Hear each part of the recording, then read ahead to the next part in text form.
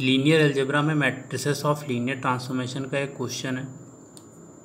Consider the linear mapping F is such that I R square to I R square by F X Y is equal to three X plus four Y comma two X minus five Y find the matrix A relative to the basis one zero zero one and the matrix B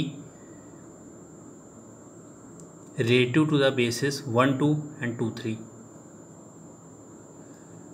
तो यहाँ पे linear transformation या जो mapping है linear mapping F है I R square to I R square basis जो दिया हुआ है वेक्टर स्पेसेस का, इस वेक्टर स्पेस का, जैसा कि हम जानते हैं बेसिस जो होती है वो यूनिक तो होती नहीं है।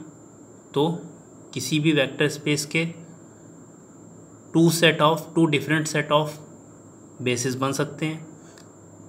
तो वही पहला बेसिस जो है वन ज़ीरो ज़ीरो वन दिया हुआ है। और बेसिस ये भी हो सकता है। बी टू लेट से one two and two three हमें मैट्रिक्स ऑफ़ लीनियर ट्रांसफॉर्मेशन निकालना है relative to both basis basis तो पहले पहले बेसिस के रिस्पेक्ट में हम निकालते हैं। तो इसके लिए हमें क्या करना होता है? मैट्रिक्स ऑफ़ लीनियर ट्रांसफॉर्मेशन के लिए टी ऑफ़ वन ज़ीरो निकालते हैं। वो क्या होगा? एफ़ एक्स वाई में हम रखेंगे, वन ज़ीरो यहाँ पे रखेंगे तो क्या आ जाएगा? थ्री और टू। थ्री कॉमा टू आ गया। इसी तरीके टी ऑफ़ ज़ीरो वन रखेंगे।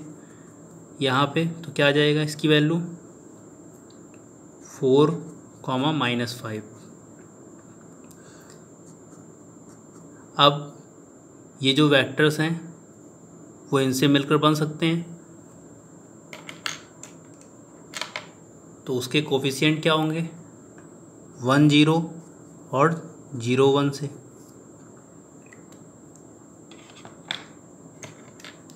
तो वन ज़ीरो का कोफिशिएंट यहाँ क्या लगाना पड़ेगा? यहाँ अगर थ्री लिख दिया जाए और यहाँ पे टू लिख दिया जाए तो थ्री टू बन जाएगा। Three into one comma zero plus जी two into zero comma one तो थ्री कॉमा टू आ जाएगा। उसी तरीके फोर कॉमा माइनस फाइव है तो फोर यहाँ होगा और माइनस फाइव तो जो पहली मैट्रिक्स ऑफ़ लीनियर ट्रांसफॉर्मेशन आ जाएगी, वो क्या आ जाएगी?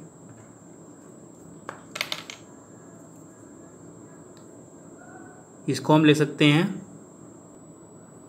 मैट्रिक्स ए ए क्या है?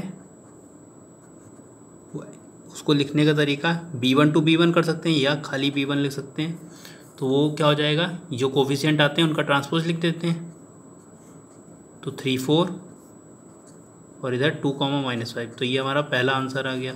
अब हमें यही प्रोसेस जो है, दूसरे पार्ट के लिए इस बेसिस के रिस्पेक्ट में भी निकालना है relative to the basis this हमें यहाँ ये नहीं पूछा है कि बे किसी एक बेसिस से दूसरे बेसिस पे निकालना है। यहाँ पे रिलेटिव टू बेसिस मतलब यहाँ पे सेम बेसिस का यूज़ करेंगे।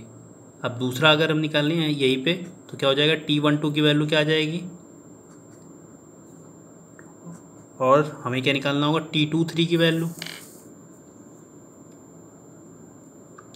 टी टू थ्री अब इसी एफ़ एक्स वाई में हम रखेंगे तो वैल्यू क्या हो जाएगी?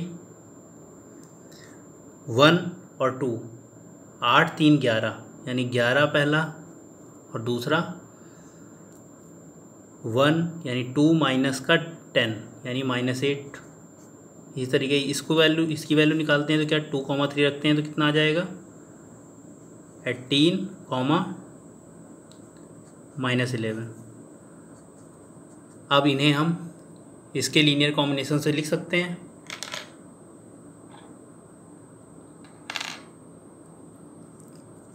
तो यहाँ पे लिखेंगे वन, टू और इधर टू, थ्री।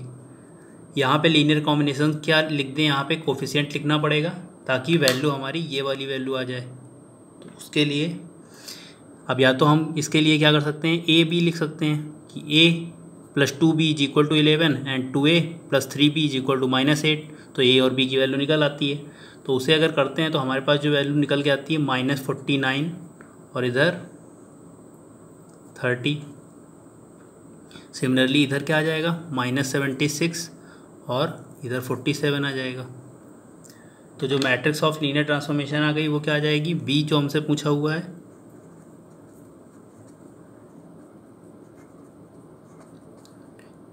वो इन कोफिशियंट्स का क्या हो जाएगा? ट्रांसपोज यानी minus forty nine minus seventy six और थर्टी और फोर्टी सेवन तो पहले पार्ट का आंसर ये हुआ और दूसरे पार्ट का आंसर ये।